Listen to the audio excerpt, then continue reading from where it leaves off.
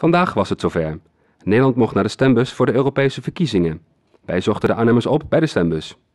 Waar heeft u op gestemd? Ik heb op de Partij van de Arbeid gestemd. Ik heb gestemd op GroenLinks. En waarom? Dat doe ik eigenlijk altijd.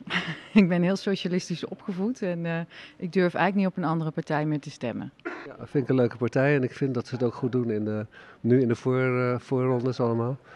En uh, ik vind GroenLinks ook op zich een goede partij. Dus ook van wat de nationale, wat de Nederlandse politiek betreft. Ja. Dus ik verwacht er een beetje wat van. En voor Europa. Want ik vind Europa ook wel belangrijk.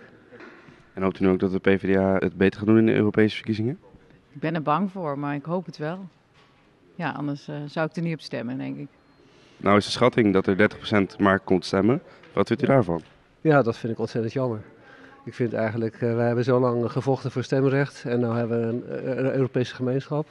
Ja, dan moet je ook eigenlijk iets uh, ervan willen. Als je iets wil, dan moet je ook iets bijdragen, vind ik. In ieder geval je stem, op zijn minst. Dat vind ik jammer.